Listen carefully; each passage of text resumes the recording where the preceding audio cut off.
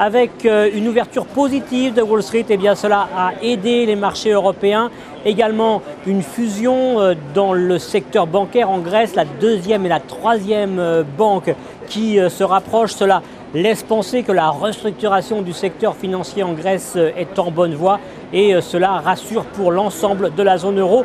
Du coup, les valeurs financières dans leur ensemble sont bien orientées. Quelques exemples, AXA plus 2,30%, Crédit Agricole plus 3,37%. Les valeurs qui se comportent bien également aujourd'hui, celles qui avaient décroché au cours euh, des dernières séances, des rebonds techniques, ArcelorMittal plus 4,90%, Veolia Environnement plus 5,52%.